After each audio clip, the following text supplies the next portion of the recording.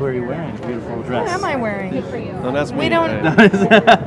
Somehow someone didn't Sorry, we tell don't know. us. Hey, that's all right. It's, it's, because I don't know. Other people dressed me like like a baby or something.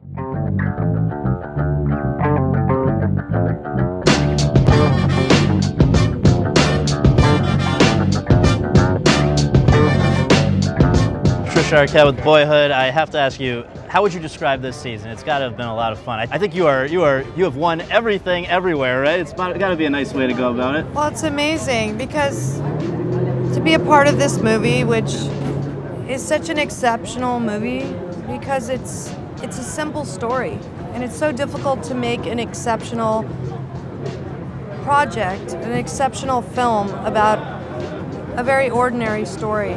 And we very rarely see American middle class families celebrated in film or explored in film. And I think that's why people have felt so much about this movie and been moved. I've had people call me and say that they called their mom or they decided not to get divorced or they decided to have children. I mean, to move people emotionally with a film that also has broken the history of film. I mean, no one has ever done this before.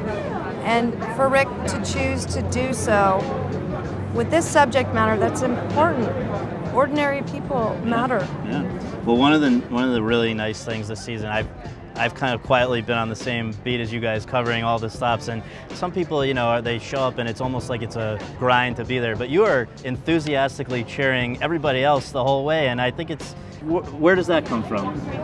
Well, I think it's comes from the fact that I've been in this business for a really long time. I've worked with a lot of people in the room. Um, that I really appreciate the fact that I've had a good career, but I never imagined this moment, especially for this movie that means so much to me because, like I said, to be a part of film history, to to work with someone like Richard Linklater that changes the language of film, that shows film companies, hey, people do want to see movies that you don't think they want to see. People are interested in other human beings. And also to show the world. This is very this is what the American middle class is like. It's not what you imagine from our politicians. It's not what you imagine from what you see on TV. And just as a final thing, uh, I can't help but wonder. So we, this has been 12 years of your life. Where, what do you hope will be going on in your life 12 years from now? Let's see. What will I, I'll be 58.